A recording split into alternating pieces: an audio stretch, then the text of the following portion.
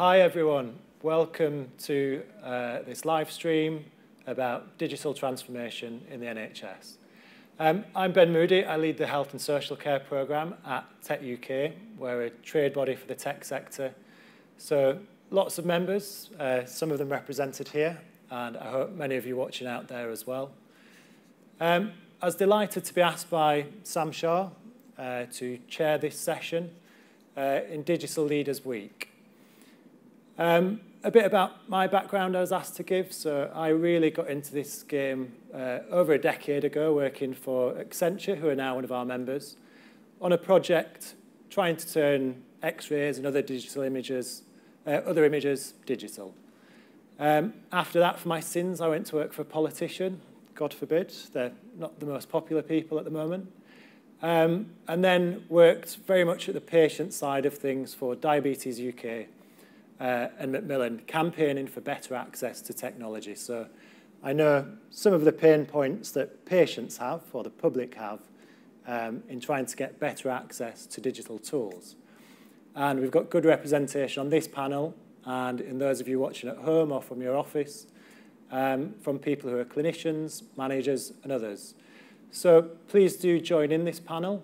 Uh, we're using Slido and if you put in the code NHSX stream, uh, you'll be able to ask questions that I will then put to our panelists. So it's a, a crucial juncture for technology in the NHS. NHSX launches in just a couple of weeks. We have a new vision. We, uh, I was saying we had uh, a new health secretary who's been in the post for less than a year. We might be getting another one soon. Who, who knows? Um, but with NHSX uh, due to launch and a lot of work going on there, it really does feel like this could be a new dawn for health technology. So that's my opening gambit. I will pass over to our panel now. Um, so without further ado, uh, if you don't mind, if each of you could introduce yourself, say a few words about your background, perhaps how you got into uh, health and health tech, um, and then just a little bit about what you see as the barriers to this vision for a digitally enabled health and care service. Sam. Thank you, Ben. So uh, I'm Sam Shah, Director of Digital Development for NHSX. And firstly, really like to thank uh, Tech UK and Ben for uh, joining us on this panel during Digital Leaders Week and all my fellow panelists who have given up their time this afternoon to be here. I'm really grateful. And Digital Leaders Week is all very much about those things that we can do to improve leadership in digital services and improve tech for good across the system. And for me, that is a very big part of what it is that I do and the things that I'm involved in. So I am a clinician uh, by background, I still practice, but I'm also involved in the digital transformation of the NHS and have been doing that for some time. And I started off in a world which was involved in financial services technology, retail technology, and other areas of technology, which sort of drove me down this path. And I've seen the benefits of taking very much a data driven approach to everything that's happened in every other sector to getting the benefits of digital transformation during the internet era. And for me in healthcare as a clinician, we see this every day where we may want data to make better decisions uh, when we're dealing with our patients. We may want data to help us make better management decisions or commissioning decisions. And at a system level, we might want data to help us make better decisions around those sorts of digital transformations that might take place. So I think there's a mixture of barriers and enablers. Some of them will be cultural, some of them might be regulatory, and others simply might be the maturity of the system as a whole. Thank you. Uh, thanks very much. Hi, my name is Michelle Unterbrink. I'm a customer engineer with Google Cloud, uh, focusing primarily on public sector and healthcare here. Thank you very much for having us, and I'll also thank my other panelists, so thank you also for your time and expertise. Um, my background is that I spent about seven years working at a hospital in the United States doing healthcare delivery research, primarily focused on inpatient care and quality of care.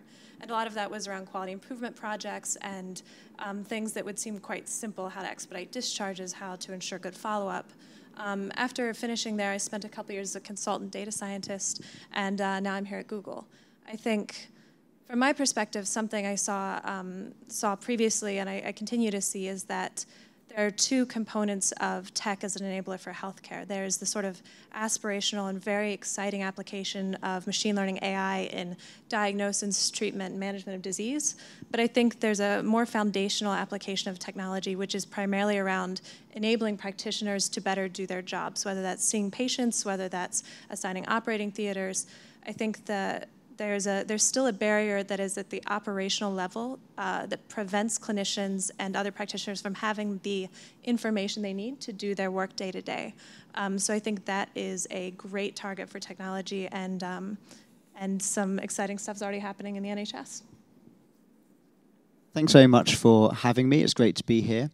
My name is Jacob Turner. I'm a barrister based in the UK, and I'm also the author of a book called Robot Rules Regulating Artificial Intelligence. This looks at why AI is unique from a legal and regulatory perspective, what problems it could cause, and how we can solve them. The book isn't just talking about healthcare or the NHS, it looks at the way that AI is used in all areas. Although in healthcare, AI is in some of its most advanced uses. So it's a great use case to identify and to explore some of the problems and some of the potential solutions. In terms of the challenges for the NHS, I think there are really two questions that need to be answered. Not so much in terms of the data per se, there is a lot of regulation of that, but particularly in the way that if we are going to allow algorithms, to allow machine learning to make decisions based on data, there are two issues within that. How should AI take difficult decisions? And are there any decisions that AI should never be allowed to take for patients? We can certainly answer those questions, but until we answer them, there will be challenges for the NHS. Thank you. And I'm Anne Crofts. I'm a commercial partner at DAC Beachcroft, and I have nearly 30 years' experience advising NHS and private sector organisations on various commercial issues relating to health. So um, part of my job, I guess, is helping uh, NHS to implement policy. So we've seen the early days of implementation of EPR records through the National Programme for IT. And more recently, of course, um, a lot of our work is around creating more collaborative uh, groupings such as integrated care systems and providers and helping those organisations come together, work together and of course facilitate shared patient records. So a lot of our work is around helping create governance structures to enable organisations working together to make decisions about how patient data can be used. Uh, and that is quite challenging because it requires um, uh, bringing along a lot of stakeholders, uh, commissioners, providers, GPs, patients, uh, and others, and making sure that there is appropriate transparency and most of all communication um, particularly with the public and patients, um, to ensure that we have consensus on how patient information should be used. I'm sure that's a topic we'll return to a few times in, in this discussion. Thank you all. Um, I'd just like to, to pick on Sam to begin with, just because of something you said in that intro. So, coming from a, a background and a knowledge of you know the way that tech has transformed retail, and the way that tech has transformed finance. Just because I'm very conscious we've got a mixed audience watching this. What is it, what's the crux of why the NHS has been such a laggard in this area? Why, why is it that when I get a doctor's appointment, even as someone who, dare I say, might be more digitally savvy than the average person, why am I still outside the surgery at 8.30 in the morning, queuing up in the cold with a lot of other sick people, spreading germs amongst ourselves? So I guess I would start off by saying that perhaps the NHS isn't so much of a laggard, but perhaps has to take a more cautious approach to trying to implement some of these things because ultimately we take safety, security, privacy, and quality of our service users, our patients, so seriously that that element of clinical safety is probably the first thing that comes along. And when we've got an organization which isn't one thing, but made up of more than 22,500 different entities just in England, that's quite a different environment to, let's say, a big retailer or a big bank, which is a single entity for intents and purposes. So it's a different set of dynamics. Each of those has its own governance, each of those has its own responsibilities, and ultimately, each of those is responsible for the safety and the quality of the service it offers those patients.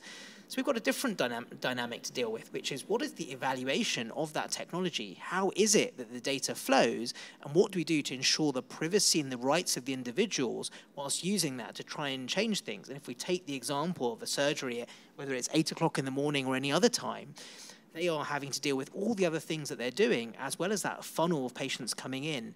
And this is where we need to use to both uh, the needs of our individuals that are using the system, as well as the opportunity of technology to change things. So maybe we need to focus more on the needs of our users, the three different types of need, before jumping to a technology solution. Yeah. Any, any more comments from the panel? Just comparing, I, I guess it's not the NHS per se, because health uh, compared to other industries worldwide, uh, is a less digitally intensive uh, field, or at least whilst there are pockets of you know digitization and very kind of future-looking tech, it's not the case across the board. Whereas we've seen a more wholesale transformation in other industries. From your experience, either from the NHS or from other uh, geographies, um, what, what would you say are the reasons for that? Well, if I can comment, I think following on from Sam, really, I mean, uh, it, it's a lot around transformational change. Um, and the interim workforce plan, um, which was published quite recently, did talk about the need to create new roles and the possibility of creating new roles through the use of digital technology, but that will take time and needs to be planned. Um, there are clearly um, opportunities for changing the way in which the NHS can work, um, uh, through digital technology. But that also has implications for the way they use property um, as well. And uh, long term, you know, it may be an opportunity to use property in a different way. But at the moment, um, there, are, there are a lot of issues around the state and condition and investment and so on. So there's a lot of change, I think, that needs to go alongside the adoption of technology, and that may be one of the reasons. And, and is there something in there in that if we focus on the problems that we know of right now in the system, that we could end up solving yesterday's problem. Whereas if we took a more of an enterprise approach, could it be that we solve tomorrow's problem or a future problem, which might require a different solution? And I guess if I think about some of the things that you're both involved in, they're much more future facing. And do we need a way to be more open to those other ideas that might not be immediately the things we think of? Any more comments? From um, the NHS perspective, one of the things that uh, interests me in terms of the way that um, uh, it might be seen to be uh, potentially a laggard is the way in which it has to deal with so many different constituent parts. It's not like a bank which might have to deal with a few different counterparties or a trading company. One has to deal with the public, and there are obviously public concerns in the way that technology is being used. And there are certain novel questions which are now arising with the mass collection of data, big data sets, the use of AI in uh, the NHS, which we've never had to deal with before, and those raise major societal issues. So it seems to me correct that the NHS should be taking a cautious approach, but at the same time, one doesn't want to abandon the opportunities that those technologies bring. And um, I guess if I could just speak personally, in, in my experience, um, so I'm from the United States, I've recently moved here, I would say that in my experience as a patient, the NHS is in many ways quite advanced in terms of how it treats patients and how patients interact with the system. Um, I, I don't think it's the case that it is, for example, a laggard compared to the United States. I think my experience here is, but then in many ways, uh, the flow of information is quite good, and the system seems to be really focused around patient care, which is interesting and may explain why progress is slow, but I'm not sure if I would say that the NHS is especially uh, behind the times in technology. I think it may be a, a healthcare issue more than just a specific NHS issue. Yeah, and it's great to bring that international perspective. I, I find that in conversations we have, too often we can talk down the system that we have when if you actually skip the tech bit, which ultimately all of us are here because we care about better health and care, of which technology is a tool, to help us achieve that. The NHS, uh, you know, depending on which comparison you look at, comes out very favourably. It's not a bad country to get sick in.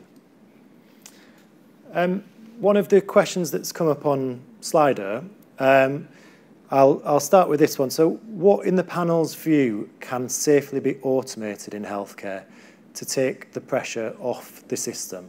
So any particular areas where you think there's um, greater utility for technology than others?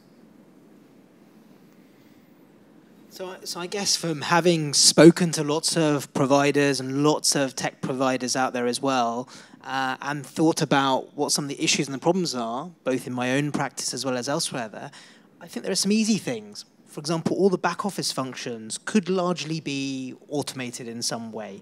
Uh, some of the other things we do, like staff identity management uh, and validation of credentials, those things could be managed in a different way. And there are other things, like the way in which we deal with telephone calls across the system, booking through the system. These are all things that could be easily automated. I think the things that are more challenging to automate is where it comes into a decision being made that ordinarily it needs a human to human decision, where it's a clinician patient interaction. I think those things are more difficult to automate. Sure. I think there are, so in, in my view, there are on the one hand, the technological barriers to automation, making sure that, that the technology is sufficiently robust, sufficiently effective, that it will meet the minimum required safety standards. But then, even if you've met those requirements, there are then the psychological, the societal concerns that people may have. Even if a AI system is 95% accurate, whereas a doctor giving a human diagnosis is 90% accurate, people may still prefer to have a human doctor for the types of reasons that Sam was mentioning in terms of human interaction and human judgment. There are simply higher levels of trust at the moment for human decision making in certain areas. So solving the technological problems is is one thing, but making sure that people trust those solutions is another related but separate issue. And is there something there about the sort of expectations from consumers out there, not just necessarily staff, but consumers as a whole? And if we take the degree of digital penetration in society and what people use digital and technology for, might that drive what they may expect from the health system? So out there, people might be very comfortable using technology to buy online and share their data and go shopping it might be that they decide that in healthcare, because of how they perceive their problem, the way they might see their data being transferred, they might be more reluctant to use it in a way that would allow for automation to take place. And, and I don't know what the uh, sort of situation is in other industries, and uh, if there's any comparison on the way that data is shared to drive that automation from other part, other, other sectors that's come about. I mean, I think you, you, hit a couple of things right on the head, which are there are things which are already being successfully automated, I think, that improve patient care. So when you look at things like booking systems, anything that doesn't require clinical expertise is potentially a target. But you know, the other the other thing to keep in mind, of course, is that those things should always be tested. They should be carefully rolled out. They should be monitored. Um, and I would say that there's potentially a, a there's an option for not full automation, but what we would consider something like clinical decision support. So not automating a diagnosis, but providing guidance around it. Um, I think those are probably in the near term uh, much much safer and more reasonable targets, and I think where we see, uh, or at least where I've seen a lot of innovation happening. One of the challenges there around that automation piece is how do you get the right scale to drive the benefit that justifies the cost and expenditure? Because we could probably automate lots of different things. And I guess in the new world is how do we bring together enough different providers that have got enough scale between them to make that automation beneficial to them? Now, in some cases, a big trust, it might be much easier. But I can certainly imagine where we've got lots of smaller providers, like uh, in primary care, that might be more difficult because they're not used to working in that way at scale. And I wonder if there's anything that's emerging from the work on uh, networks and systems that's coming out from your work, Anne. Well, well, certainly. I mean, you, you, there is a point there around what I was saying earlier. How do you get a governance and decision-making framework in place to enable uh, GPs, for example, to both have a voice and also collaborate and participate, uh, and not feel that they're sort of dragged along by more influential and bigger organisations. But just to come back to something you were saying before, which is about um, you know some of the reasons why the adoption of um, AI, in particular automation in health, is perhaps slow. Is that there's some interesting findings coming out of the work, for example, that the National Data Data Guardian is doing um, around, you know, what the public and patients reasonably expect their data to be used. Um, and uh, some of those findings are that um, uh, the public can be quite comfortable with their data being used by the NHS, for a particular purpose, but not comfortable with a commercial organisation doing the same thing. So that's clearly um, a dialogue that needs to be had, and, and part of the National Data Guardian's work is in exploring and trying to get some more consensus, a compact with the public, if you like, uh, about what appropriate uses and collaboration with the um, with industry looks like and would be using their data. So I think this is perhaps a complicating factor. Um, but, but certainly, I think, I think how you bring, and GPs, you've mentioned primary care, can be quite um, skeptical sometimes about the, the, use of their patient data. They certainly feel that they are guardians of, of patient data. And, and it really highlights to me the work that I've done how very important it, it is to communicate thoroughly with all stakeholders to have proper representation um, because you can go, you know, innovation, technology, people want to move quickly. Uh, sometimes that's a mistake, really, if you find um, further down the line that you've left people behind um, and they're just not comfortable. So I think you need absolute transparency all the way through as to what you're trying to achieve and what the risks are. Um, yes, the NHS can be risk averse, but with good reason sometimes, you know. And industry, I think, need to be um, helpful in articulating those risks and being open and honest when they perhaps can't be fully understood or, uh, you know, it's a work in progress. I think we need a lot more honesty uh, and collaboration in, in, in um, you know, moving forward with technology. So just, just commenting on two parts of that. So the, the back office function efficiencies that could really help the NHS to then invest money elsewhere, I think, is almost a, a non-controversial point. I mean, technology is revolutionising all industries in terms of uh, what we might like to think of the simple stuff. It, it's not simple. We know that there's a lot of difficult uh, problems there and technological uh, hurdles to overcome. But you'll get very few arguments about, you know, kind of uh, streamlining finance processes and payroll. The NHS is a huge employer as well as being a, a service provider. Um, clinical decision support is a much more, uh, shall we say, uh, ethically difficult field. Um, and the comfort of having uh, a doctor or a clinician backed up by a, an effective tool, but with that safeguard of the clinician at the forefront, sounds like a sensible way to go. But what if that clinician is uh, given advice or however we want to describe the, the support that they're getting from the tool, and it leads to an adverse event?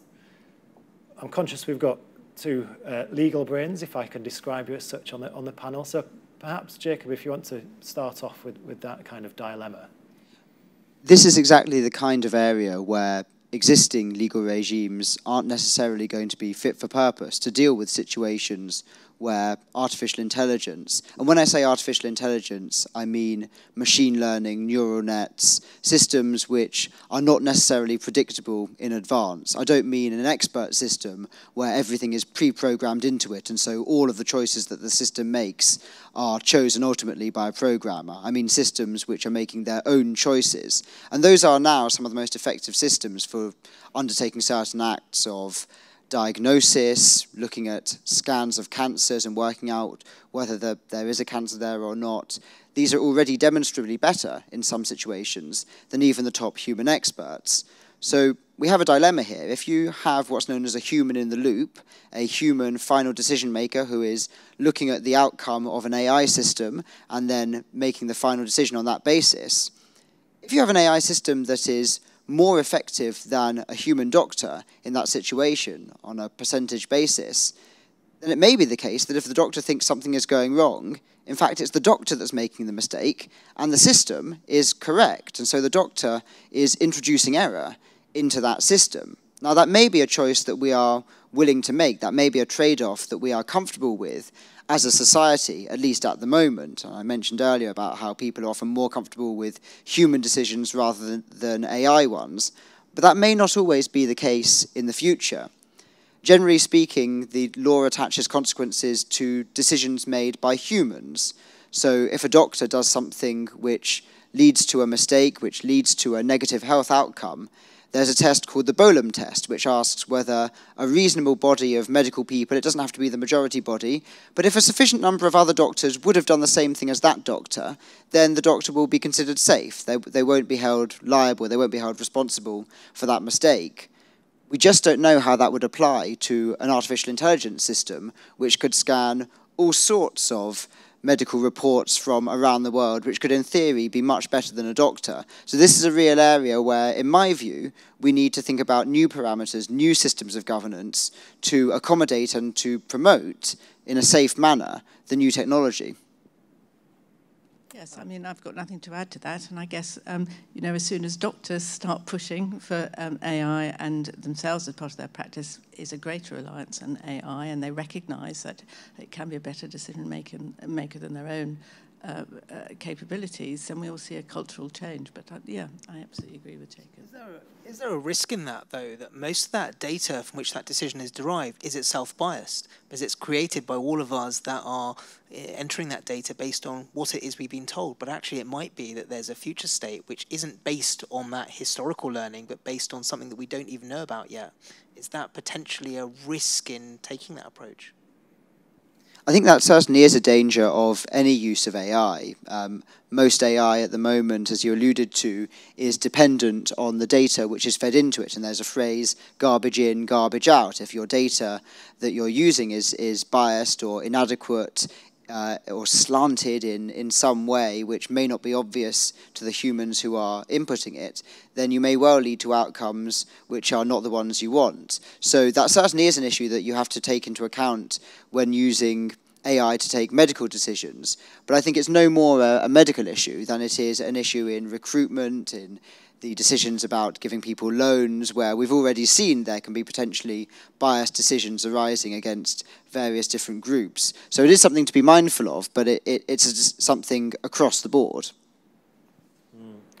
It's an, an interesting debate. So it seems that there's a view that whilst AI can be more effective, more accurate than humans can be in certain situations and given the constraints of the data that goes in, we're just less accepting of mistakes that are automatic mistakes, if I can call them that, than we are of the fallacy of human beings, which uh, is something I guess we're all acutely aware of.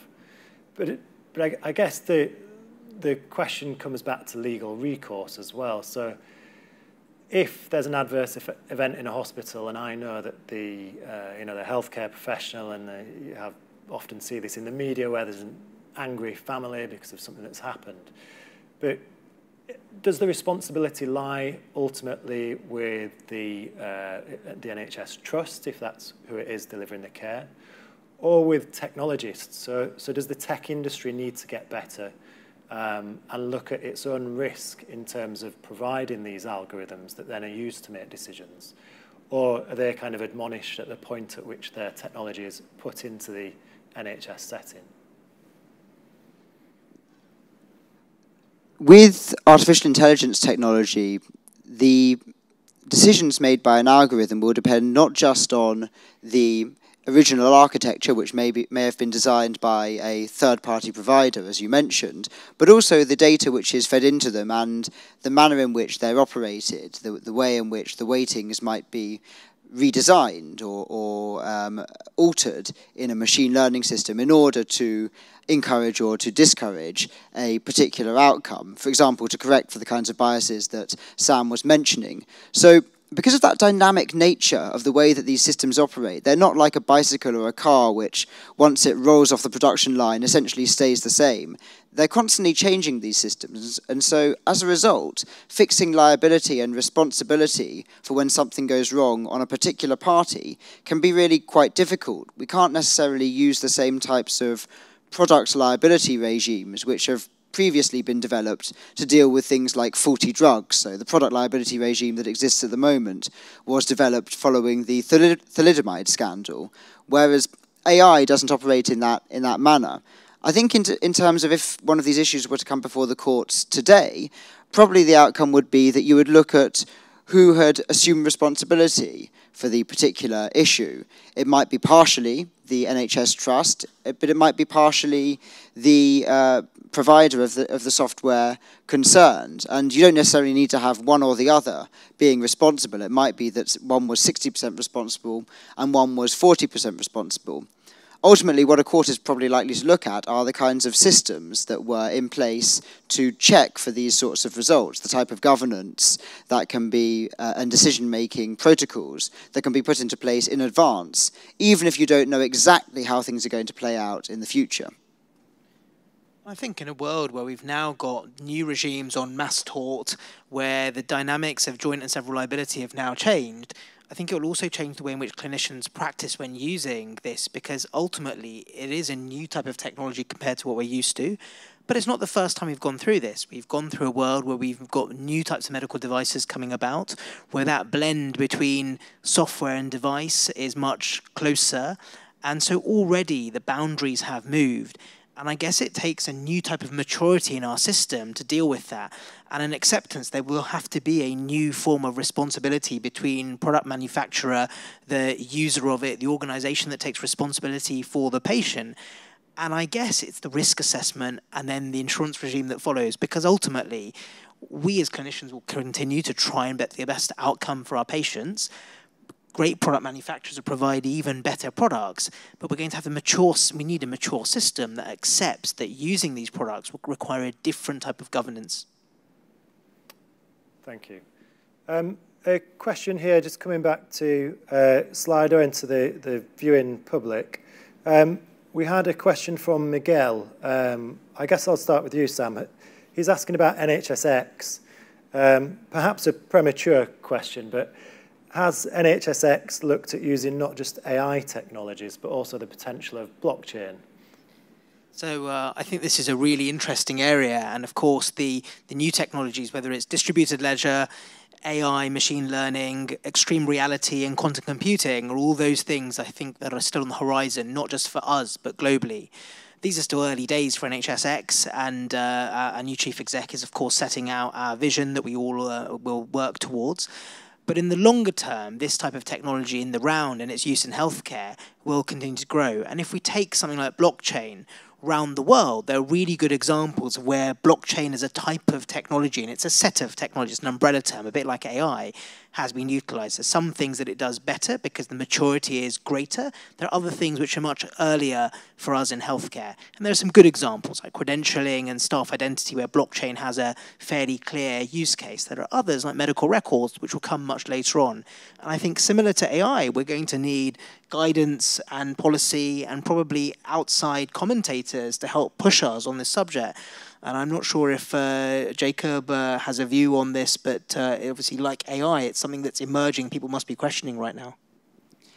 I think all legal systems um, are social products, and as you quite rightly say, we, we need to make sure that, that those systems are fit to meet the technologies and the, the challenges which exist. It may be that certain things, certain rules can be adapted, and certainly one of the strengths of the English legal system is that we have certain basic rules which more or less have stayed the same for 50, 100 years, and that gives um, consumers a great deal of certainty, it gives businesses and counterparties a great deal of certainty, and that's one of the reasons why lots of places uh, have adopted similar rules to the UK.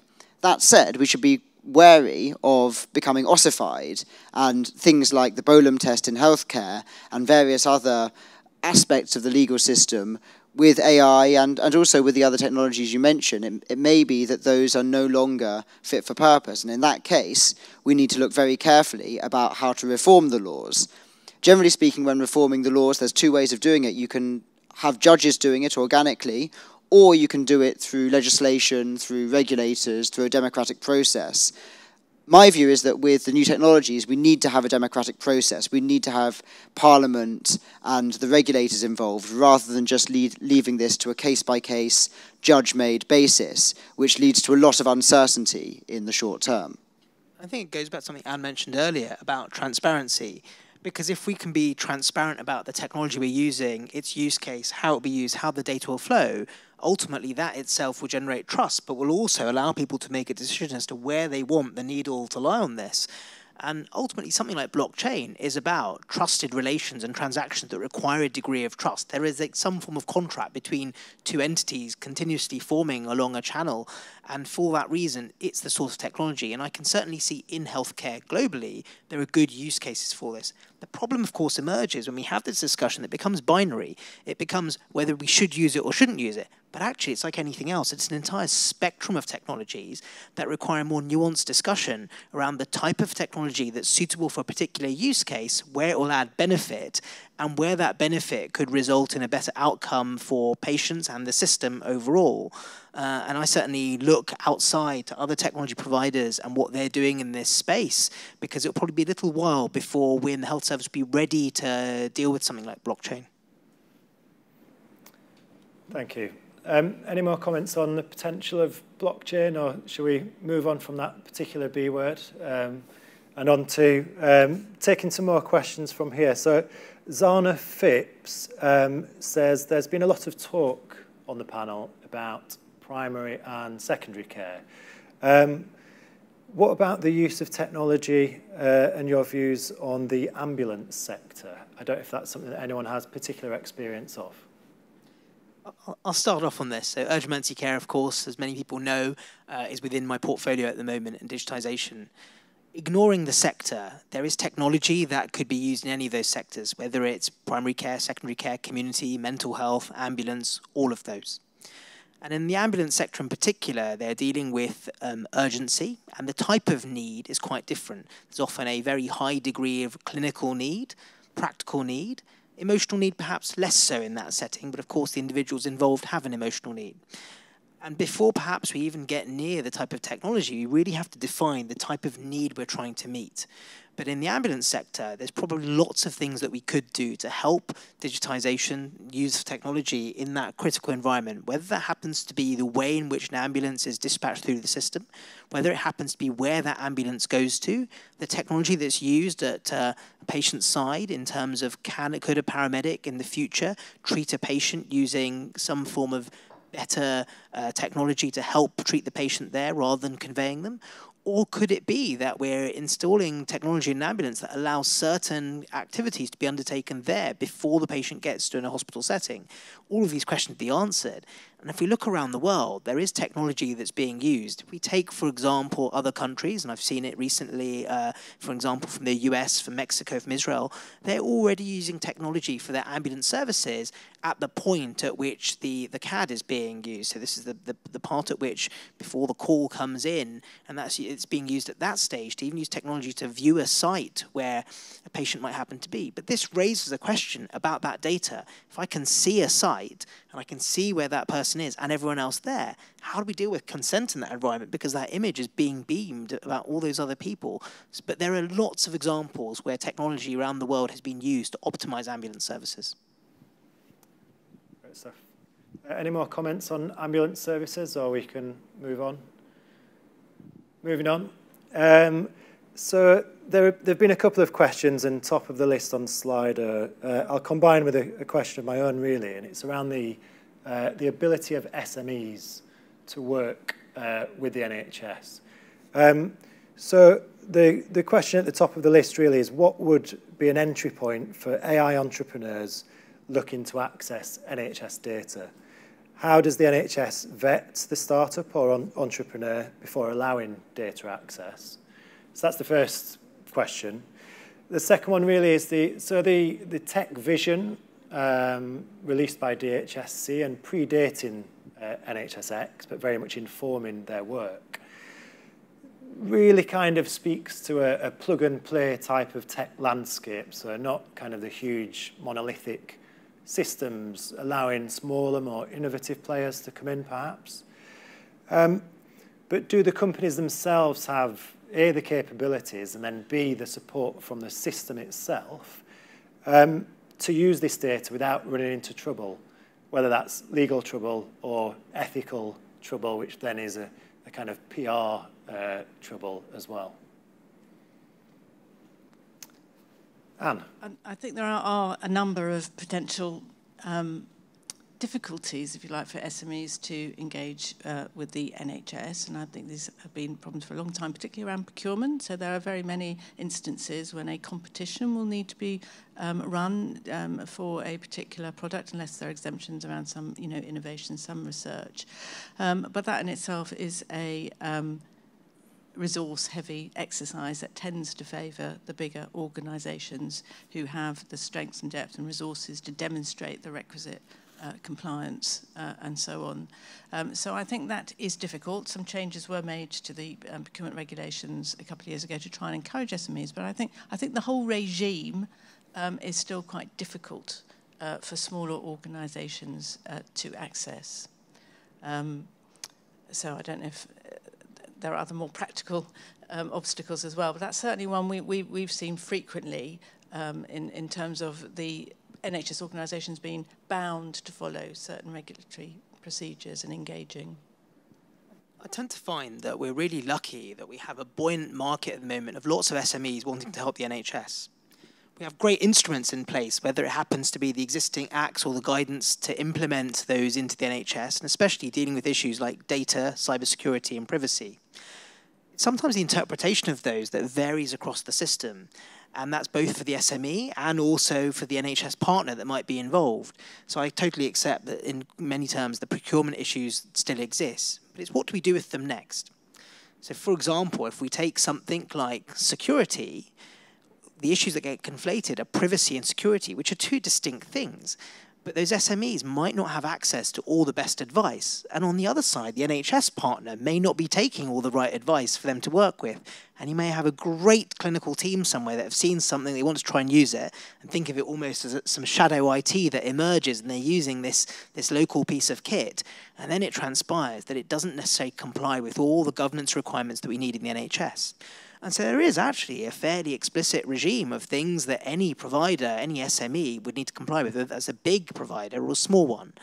And it's not actually that onerous in that one of those things is making sure that they, they adhere to the NHS Information Governance Toolkit, now the DSP Toolkit, that the staff they have working on them have complied with the right uh, training in terms of information security and governance, that they themselves are compliant around those requirements for cybersecurity, and that they also are clinically safe. And those things are all important.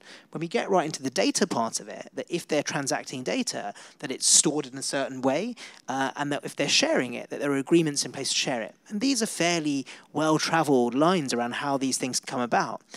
But the maturity on both sides and the degree of information that's available for both sides to make a meaningful decision isn't always there. And that's where we probably need to do much more about sharing different ways of working. And that's where I also see the benefits of sometimes a multi-vendor, pro-vendor approach where you might have a small SME working with a much bigger SME that has uh, at their gift all the sort of big cloud-based uh, you know, data repositories and things they could use that are already safe and offer them storage options and things that might help them navigate some of those things. Now, of course, there's rules in place for that. There needs to be a better way of working. But I certainly see that to avoid some of the obstacles and the barriers, but to stay and act within the rules, both for us in the UK, but also within the NHS, that could be a new way of working. And that sort of multi-vendor, uh, pro-vendor type model could be something we see emerge. And I already know that lots of people use cloud services to host some of these things that provide that security, that safety, and that privacy that they may not otherwise be able to maintain themselves. Yeah, I think um, from what I've seen, there's a growing opportunity to allow smaller organizations to engage with, with things like the NHS because of, of what you've mentioned, the idea that there can be now toolkits that are used across the NHS that are compliant, they're, they're monitored, and they can provide a way of, of ingress for smaller organizations, whether that means new approaches to de-identifying data or to obfuscating data, whether it means new approaches to preventing the loss of data and monitoring where data is. I, I think that going forward, there are going to be increasing opportunities to start to share data when you need to in a secure, safe, and useful way. Um, I don't think it. I don't think we're there today, but certainly I see across multi-vendors, across small, medium, and large organizations, uh, a real drive for everyone to get to a point where there's a kind of clear channels for communicating the data as it's needed, when it's needed, for the people who need it, and for the people who can use it for innovation. I think we'll see more of it and it, perhaps it goes back to transparency that Anne uh, mentioned earlier, because if everyone's transparent about what they're sharing, why they're sharing, and what the business need is, it might become a little bit easier to do this. Thank you. And to collectively identify the risks as well. I think NHS will struggle sometimes to actually identify what the risks are and they need help um, from suppliers and others to do that. So I think more of a collaboration, transparent collaboration, um, and being able to affect that would certainly help. And uh, Anne, Sam, Sam spoke about a compliance regime that isn't too onerous in terms of what you need to comply with. Does, does that reflect the views you get from clients that you work with and that you advise? Um, well, I think I think if we go back to the question, are SMEs capable? Do they have the capability to do it? When I think I think I think Sam's absolutely right. You know, if you delve deep enough, if you if you have enough access to the right advice, you can clearly identify what you need to comply uh, comply with, and, and so on. So I don't think that should be a particular um, hurdle.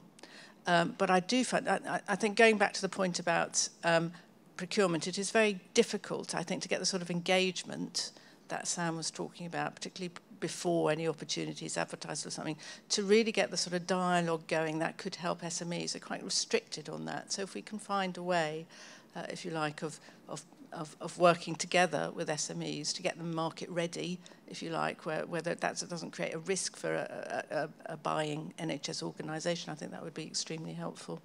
And one thing I've certainly seen from some of the various things I've been to is that discussion between SMEs and other providers out there has resulted in knowledge transfer and sharing that has been to the benefit of the system. And there isn't really a commercial interest. There are different companies doing different things. But by that discussion that takes place, they can often share that knowledge. Although I would also accept, whilst I've said on the one side it's not too onerous, it's also not it's not entirely easy. And in my personal opinion, uh, both as a clinical service provider and working in the system, I think there are things we could do to make it easier for any provider, whether it's an SME providing a digital system or whether it's a clinical service provider. There could be a better way of onboarding uh, a new SME so that during that process they comply with the different requirements. And if I think about how easy it is to sign up now with a bank or an online shop or use any sort of um, you know large uh, file sharing system it's not that difficult. But why is it so difficult to engage sometimes with the NHS is there a better way that we could have an online platform that does some of these things for the individual engaging? I think as well, when you, when you look across the system, the AHSNs, 15 AHSNs around the country, they were um, kind of recertified, if that's the right term, with uh, a very clear remit to help companies within their geography, so the whole of England is covered, um, to work with the NHS. Could we uh, envision a, a service perhaps working with the AHSN so that wherever you are in the country, we don't just want a, a London-based health tech industry, uh, where companies can get access to advice um, so that they can access data to make their solutions work, to develop, test, uh, and progress their solutions?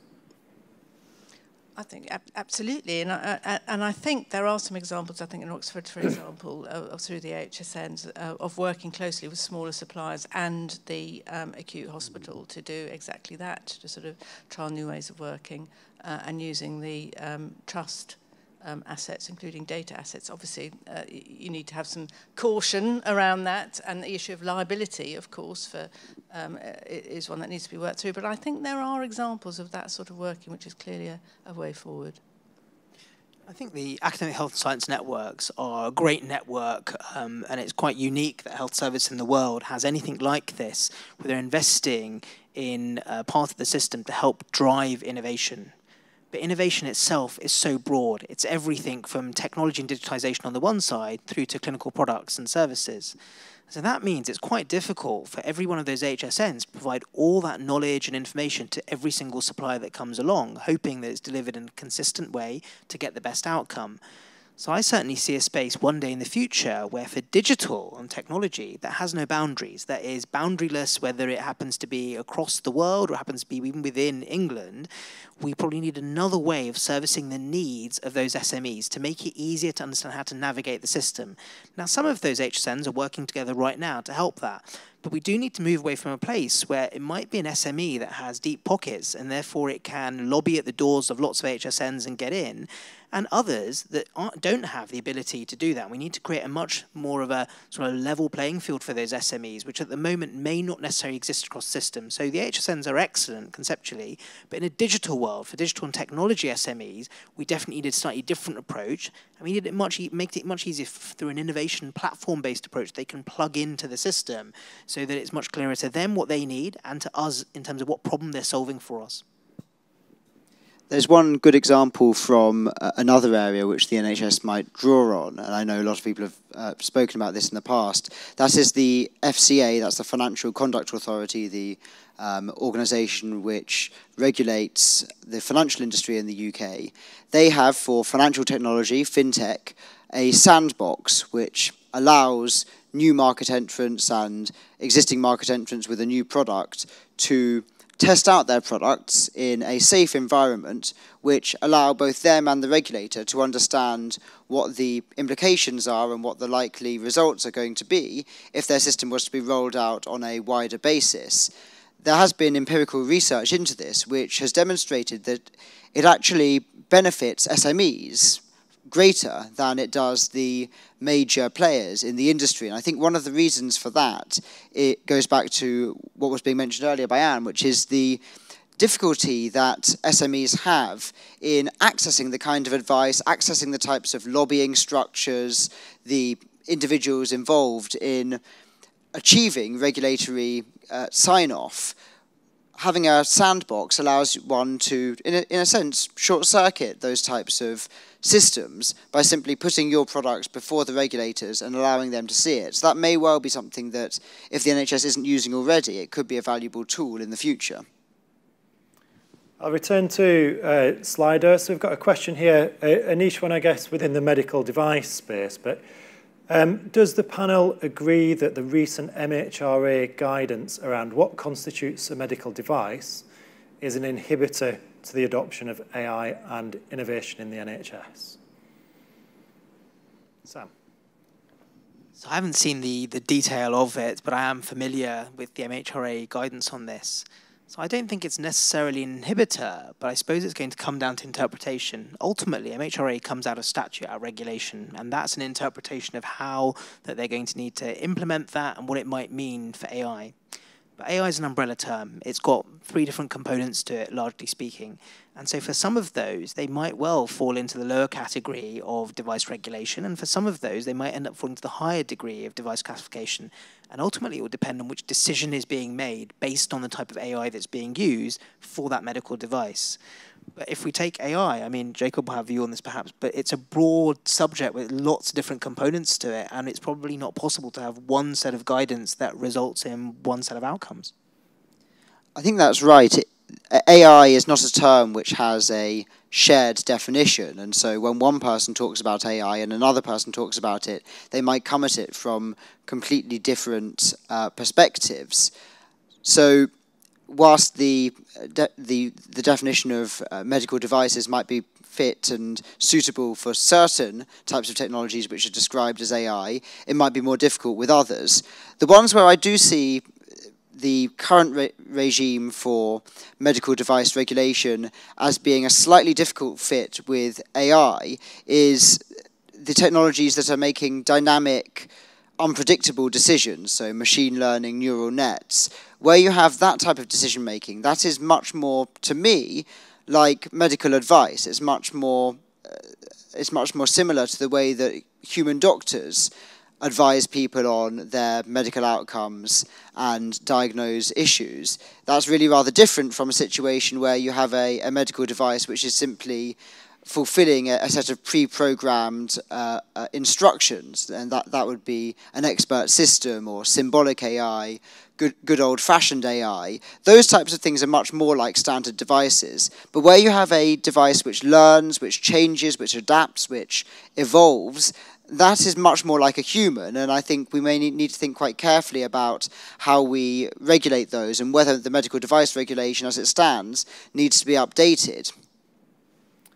We've had a, a, couple of questions on Slido about the, the quality of NHS data. So we've spoken quite a lot about AI and what it can do with data, but there, there's a reliance on good quality data.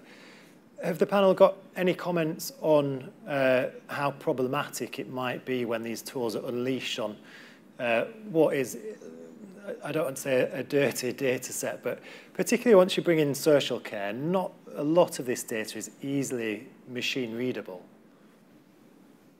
So I could speak from my past experience um, working with dirty medical data, and I've I've often found this frustrating because I've often found that it's not the data that's not clean; it's that reality is complicated.